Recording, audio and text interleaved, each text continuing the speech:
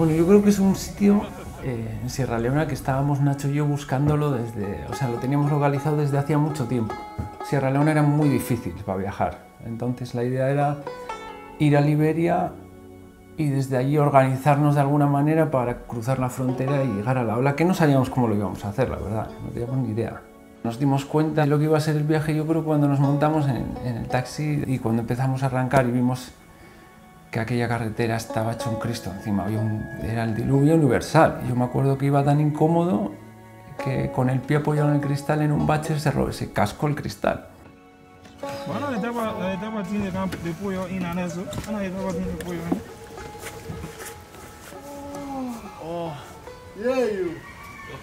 Te la, te la ha pelado el cristal. eh. Joder, eso falta que me diga algo. Es un viajecito sólido, ¿eh? Según llegas y, y te encuentras con eso, pues dices, bueno, pues hemos llegado a África y, y aquí tienen un flow que te cagas. Yeah.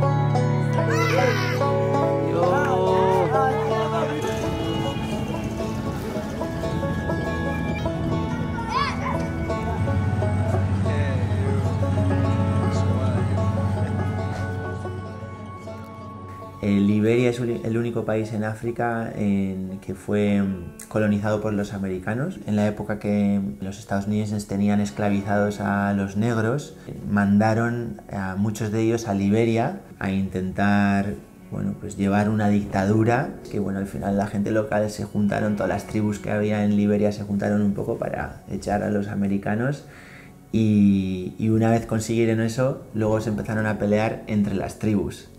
Todo ese misterio, toda esa incertidumbre también tiene un atractivo muy grande y por supuesto la gente, que, la gente africana que tiene la capacidad de no pensar mucho más en, en el futuro, ¿no? que yo creo que es uno de los grandes eh, defectos que tenemos los occidentales, ¿no? que siempre estamos pensando mucho más lejos. We are here now. This is Robesport, Yeah.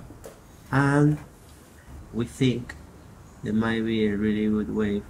That's that's Sierra Leone. That's Sierra Yeah. Leone, Yeah. You been there? No, I haven't been there. I've heard about it. And we would like to go. Wow. Yeah. That is just a question, you know, if it's possible or not. Yeah. Um.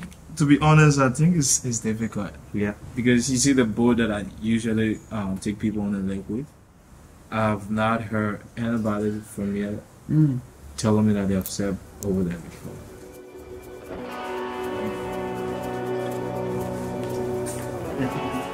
Nada más llegar sabíamos que iba a haber un swell. Nos imaginábamos que la ola esta que queríamos surfear iba a romper.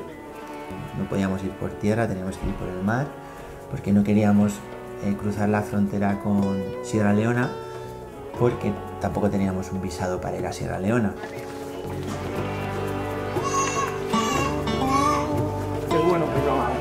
Principio si todo va bien, pues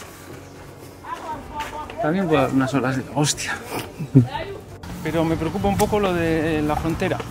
Y he pasado muchas fronteras en África y son siempre muy complicadas.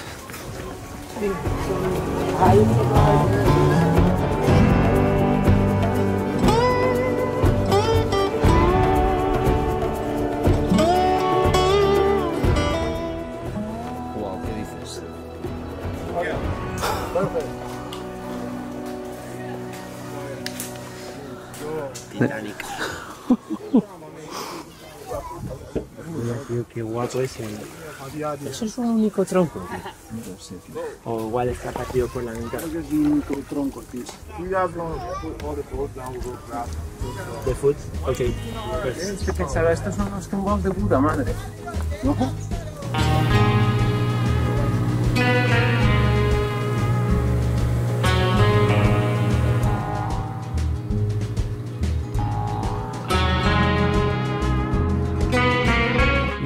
En aquel barco diciendo, bueno, pues que sea lo que Dios quiera. ¿no? A ver qué pasa. Nos vamos a Sierra Leona, joder. ¿no?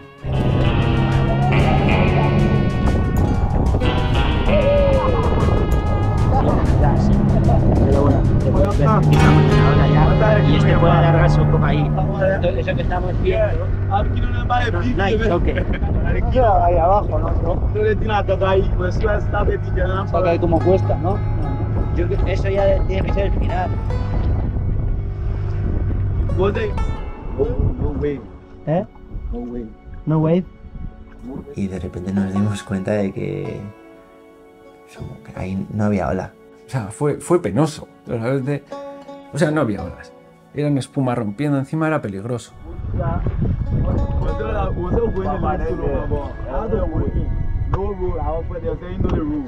Era tan malo que, o sea, que, que nos entraba la risa. Ha sido gorda esta, ¿eh? Esta igual ha sido la más gorda.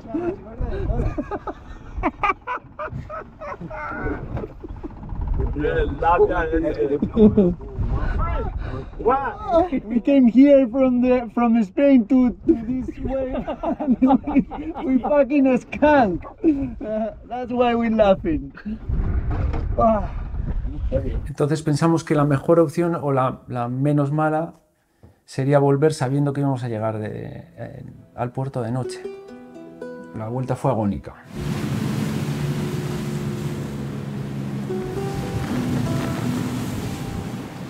Sí creo que hubo momentos reales que nosotros pensábamos que íbamos a naufragar y estábamos bastante a kilómetros del pueblo.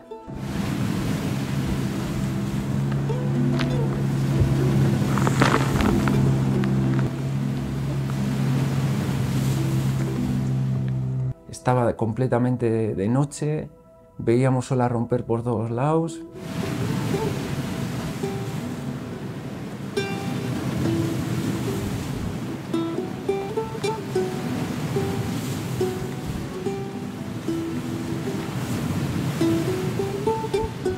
Pues, al final fueron tres horas de ida, casi cinco horas de vuelta y ya cuando empezamos a ver las luces del pueblo donde teníamos todo el campamento base, decimos, bueno, ya estamos llegando, ya todo va más tranquilo hasta que la entrada al río del pueblo, de repente era tan de noche que, que llegó un momento que no, que no lo encontrábamos. Estábamos acojonados, realmente, porque estábamos ahí en la mano de Dios y como para que se volcara aquel, aquel tronco de madera. Hemos pasado la barrera ya, ¿no? Íbamos por el medio del mar y ha sentido la corriente del río, ¿sabes? Ha hecho el capitán, pum, ha clavado el mástil, va allí y yo, ahí está rompiendo olas, ¿sabes? Y yo me acuerdo que iba temblando todo el camino, pero temblando, eh, o sea, físicamente. Y una vez que conseguimos entrar y entramos ya a la calma, paré de temblar. O sea, estaba temblando de miedo, que nunca había temblado de miedo en mi vida. Pero bueno, hubo un golpe de suerte, yo creo, y ya cuando pasamos la barra, pues entras en la laguna y ya pues, pues dijimos, uff, hemos librado bien, joder.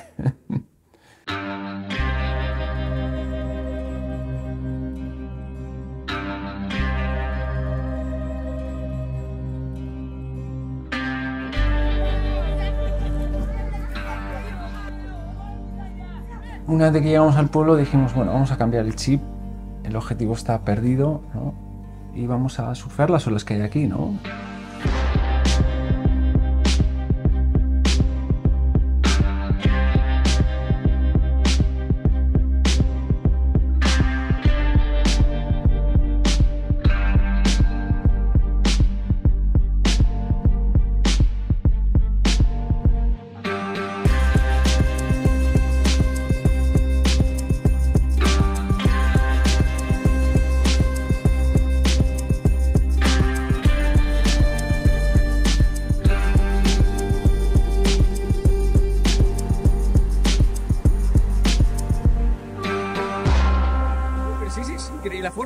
No entra. No, yo no entraba. al- No puedo hablar.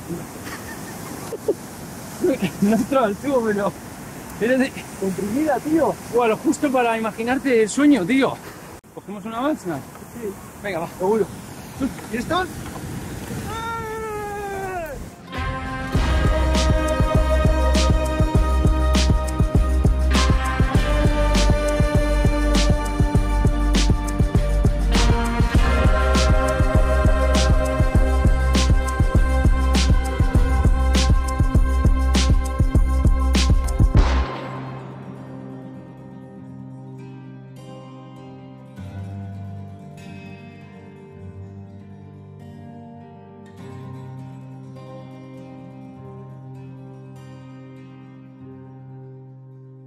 Esperaba eh, esa comunidad con ese nivel, surfeando de esa manera, ¿no? Eh, sabían perfectamente lo que era hacerse un tubo, lo que era hacerse un 360 eh, y cada uno con sus recursos tenía su propio estilo, ¿no? Había gente que, tenía las tablas de, de los chicos de Provide Slide, pero tenían una quilla o otro no que tenía quillas y iba surfeando con una tabla sin quillas, brutal. Bueno, Provide Slide lo que hace es eh, recopilar tablas de gente que aquí muchas veces tienen en el garaje muertas de risa cuando las utilizan. Eh, las recopilan y las mandan a lugares donde, donde tienen las olas, los recursos, ¿no? y no, no tienen los recursos económicos para poder conseguir esas tablas. ¿no? Te das cuenta de que gracias al surf al final desconectan de un día a día bastante más complicado el que tenemos nosotros aquí. Así que directamente hacen felices a, a- muchísima gente.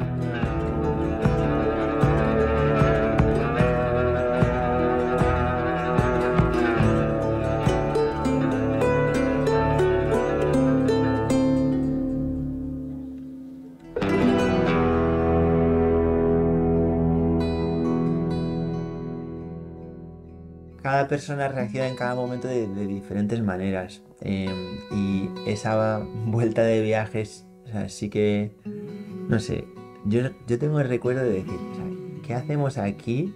O sea, mira que estamos pirados para haber llegado a este punto, porque en otros fracasos que hemos tenido, más o menos la ola estaba ahí. Nos ha pasado muchas veces de, uy, casi es, casi es una ola muy, muy buena. Otras veces hemos podido surfear olitas que nos hemos divertido mucho. Pero ver eso fue como un. No sé. un- no lo llamo chasco porque en el momento no, no sentí como un fracaso, sino. Yo se- sentí una cosa de. O sea, es que estamos zumbados. O sea, muchas veces cuando compartes ciertas historias con los amigos y, y- o con gente que no surfea y te dicen, tú estás loco. Y luego, pues a veces no consigues tus objetivos, pero el viaje, ese viaje merece la pena. Pero yo, creo- yo creo que es un pequeño reflejo como en la vida, ¿no? Yo creo que, que ese sueño que todos teníamos ahí es, lo que al final te lleva ¿no? a, a cruzar una frontera. Y ahora pues con otro objetivo, o sea, se acaba ese y hay otros lugares en los mapas que, que hostia, que piensas, hostia, ahí puede haber una ola increíble, pues vámonos, ¿no? Igual fracasamos, no lo sé.